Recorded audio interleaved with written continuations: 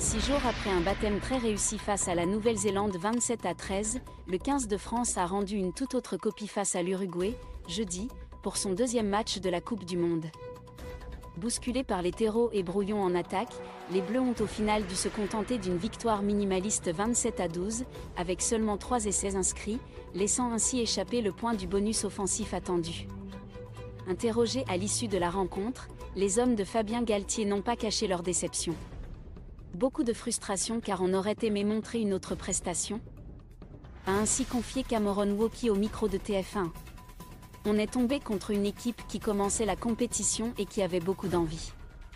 On les a respectés mais on a un peu pêché en mêlée et on n'a pas été assez patient je trouve.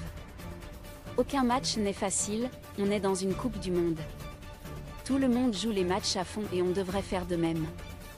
Je pense qu'on était un peu relâché vu l'adversaire ce soir. Il faut switcher. Et le deuxième ligne du stade français, qui était l'un des trois joueurs à enchaîner une deuxième titularisation après avoir débuté face aux Blacks, a particulièrement peu goûté l'indiscipline des Bleus, pénalisé à 15 reprises et passé tout proche d'innombrables cartons rouges.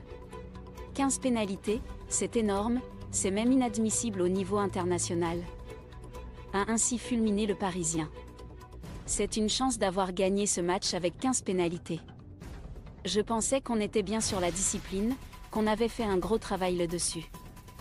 On aurait voulu montrer autre chose. On a montré qu'on avait une équipe indisciplinée et c'est dommage.